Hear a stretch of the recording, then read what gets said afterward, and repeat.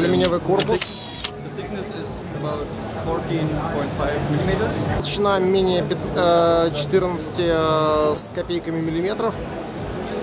and it weighs about uh, 1.38 kilogram. а, и вес э, порядка 1,3 килограмма. Integrated is the latest um, Core i5 processor, Внутри Core- Intel Core i5 третьего поколения. Ultra low voltage. И, безусловно, он, э, у него энергосберегающая батарея, и он э, потребляет мало энергии.